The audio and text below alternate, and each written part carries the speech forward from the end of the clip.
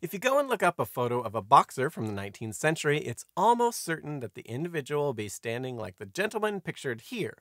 While it may look a little silly to modern fans of the sport, this was actually a very effective fighting stance for those wishing to win a 19th century boxing match.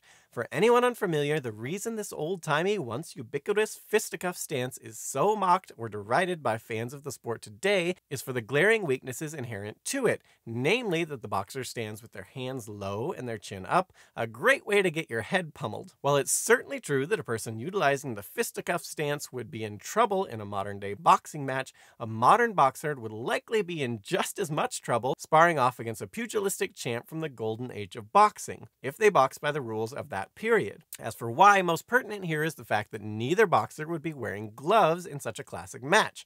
As paradoxical as it's going to sound, boxing without gloves is actually widely considered to be safer than boxing with them.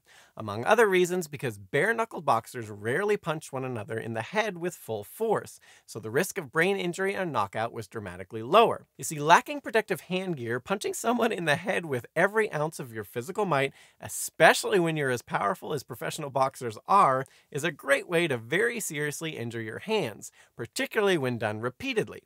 Combine this with the fact that many 19th century boxers sometimes competed multiple times per week and that there were no time limits for many old timey bouts. One match in 1893 even went 111 rounds before ending in a tie, when after seven straight hours, both boxers just decided enough was enough and refused to get out of their corners. From all this, you begin to see why protecting the head wasn't as much of a concern as it is today.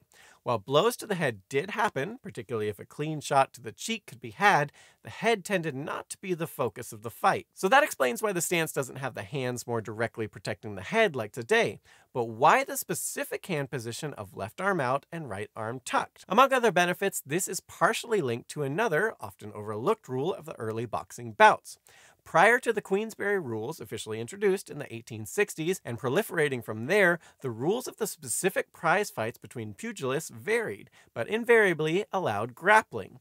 As an example of how things were before more civilized competitions, in 1713, Sir Thomas Parkyns described a typical boxing match as including eye gouging, choking, punching, head-butting, and other such street fighting tactics.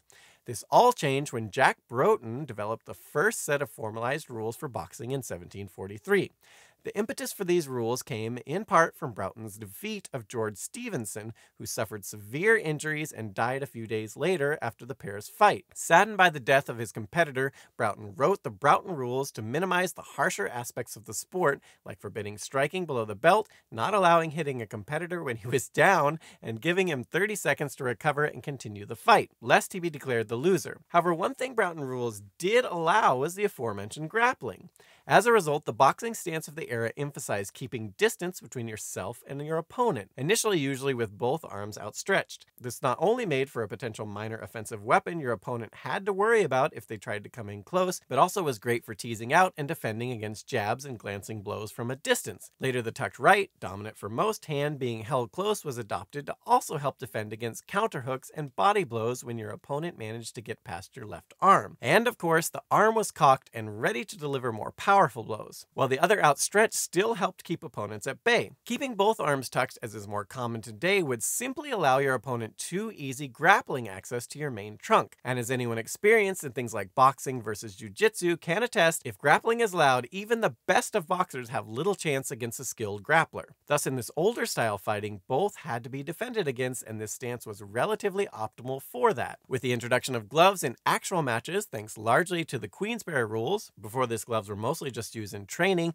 boxing forms evolved, with the emphasis of the modern stance being protecting the head from the gloved fist and no longer needing to worry about grappling moves. Old traditions die hard, however, and for a period in the early 20th century, despite that the bare knuckle bouts had been phased out, boxers continued to pose like old timey prize fighters for publicity stills, even though they now fought using a different style. Speaking of curiosities, ever wonder why in some countries you'll find eggs at the store are refrigerated, while in others they are kept at room temperature? Well, go check out our video here to learn the surprisingly interesting reason as to why.